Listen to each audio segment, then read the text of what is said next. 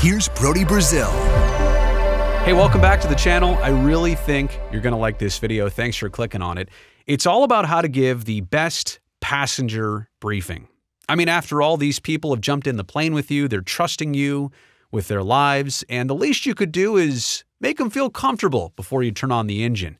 You want your briefing to be concise and confident all at the same time, and, and what I'm going to share with you is a great template of what you should say, how you should say it, and maybe even in what order. So feel free to copy all of this.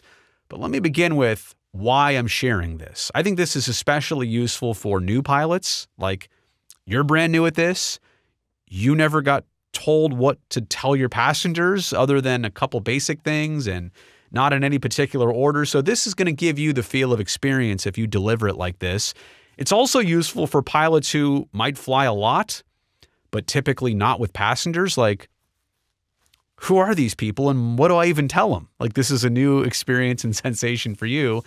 But it doesn't matter who you are, this is definitely going to add a polish to the flying experience for your passengers. Again, a lot of them have maybe never been in a small plane before. How many times have you heard that? They've got a lot of questions. They're feeling a little bit edgy. For you to deliver this before even starting up the engine it does set a nice tone to the rest of the flight. Here's a quick summary of all the different areas the flight overview, seatbelts, evacuation, which I hope you don't need. Same thing with fire extinguisher. Definitely don't, hope you don't need to talk about or experience air sickness. You'll talk about it, but I hope you don't experience it.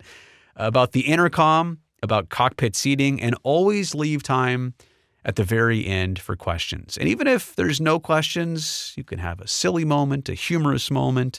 You can just make sure that everybody's comfortable. It's a good time for feedback and checking in. Here's how we start it with the flight overview. Hey, everybody, today we're flying from Livermore to Las Vegas. I'm making all this up, by the way. And we're anticipating a cruising altitude of 24,000 feet and a total flight time of an hour and 31 minutes. Okay.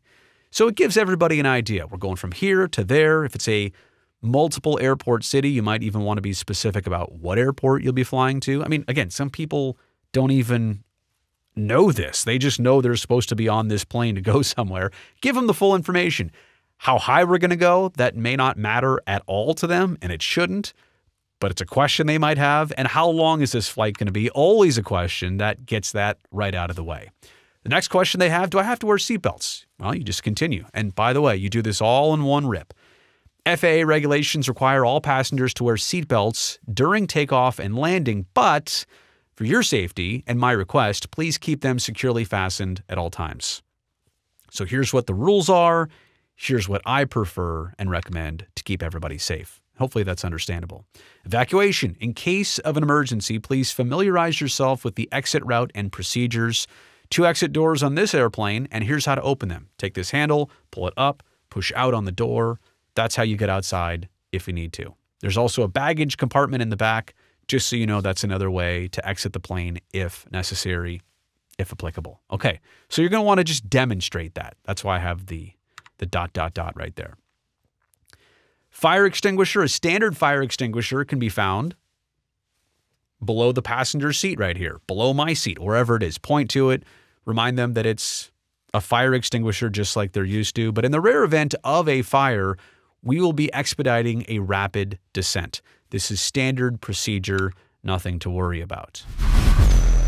Air sickness, please notify me if you feel uncomfortable, including dizzy, lightheaded, or drowsy.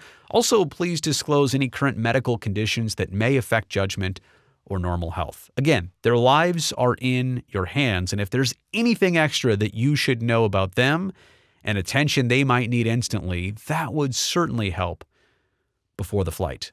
Can I also take this time to give you a little piece of advice? I know I'm running through this and you want to get it all copied down, but always carry a sick sack.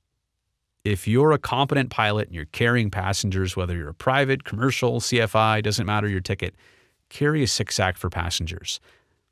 The moment and the five seconds that you have when, when you need to help them from uh, doing what they do, throwing up, uh, you want that sick sack to be able to catch as much of it as you can. Yeah, I'm not going to get too far into this and get too graphic, but you do not want to spend your time cleaning up the inside of an airplane. Okay, so while we're talking about air sickness, that's for you. Have a sick sack, have a bag, have a place always ready on your knee board, whatever, that can be pulled out, handed over, and make us make a bad situation not a really bad situation. Okay, the intercom in your headsets, you're going to hear both air traffic control and our conversation in your headset. But during busy phases of flight, including the taxiing we're about to do, the takeoff, and then eventually an approach and landing into Las Vegas, radio communication for me to air traffic control, that is imperative. So cabin silence is requested at these times, and I'll remind you of that. I just want to let you know in advance I will need a little bit of silence on your part. During normal flight, you will also likely experience frequent flashing lights and beeping tones, and these screens in front of us, they're going to be quite busy. Don't be alarmed. They're all part of normal flight operations. You don't really think about that, right? But there's a lot of stimulating activity on a panel. If that person's up front or even in the back, just seeing the panel, you don't want something flashing red to distract them or worry them, even though you know it's nothing of a big deal at all. To the passenger in the right front seat, please keep clear of those moving control wheels, uh, the control wheel in front of you, and the, and the pedals down on the floor.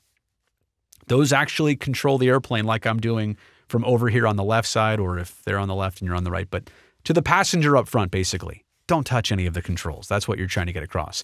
If you see any other aircraft or concerns in a near vicinity to us, appropriately notify me. Get my attention. I would really appreciate that. And then lastly, here, wow, 18 things. Please don't hesitate with any questions along our flight, but are there any questions right now? Right? They'll look around, they won't say anything. They ha- have a good joke ready, lighten the mood, and then say, hey, all right, let's go enjoy the flight. And then you do it. It's as simple as that. Now, I know I broke it up with some stories and some advice in between, but if you kind of put that passenger briefing all together, copy it down, make it your own, it's a good place to start in briefing your passengers. I've done it before.